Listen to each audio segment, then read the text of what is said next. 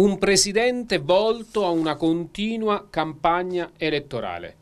Utilizza la presidenza della regione Abruzzo per rispondere ad attivare un confronto politico tra il suo partito e il governo nazionale. Faccia il presidente per gli abruzzesi, la seconda ondata del Covid si sta rilevando molto violenta e vengono ora al pettine i nodi di ciò che è stato e non è stato fatto quest'estate. Il passaggio da zona gialla a zona arancione infatti non è scattato solo in base al numero di positivi e all'indice di contagiosità, ma anche considerando quanto il sistema sanitario regionale può reggere all'innalzarsi della curva epidemiologica. Il PD abruzzese punta il dito contro il governatore Marco Marsilio per la gestione della crisi sanitaria e di quella economica non può utilizzare un'intera estate per l'aumento per quanto riguarda gli stipendi ai direttori delle ASL piuttosto che ai direttori dirigenti o per il debito fuori bilancio.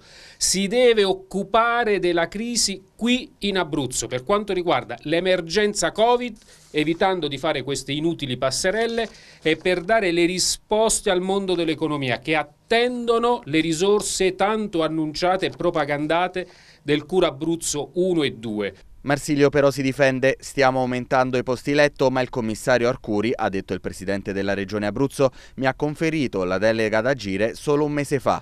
Quest'estate a Roma si parlava di come chiudere le discoteche e non di come aprire le terapie intensive. Così Marsilio sulle reti nazionali.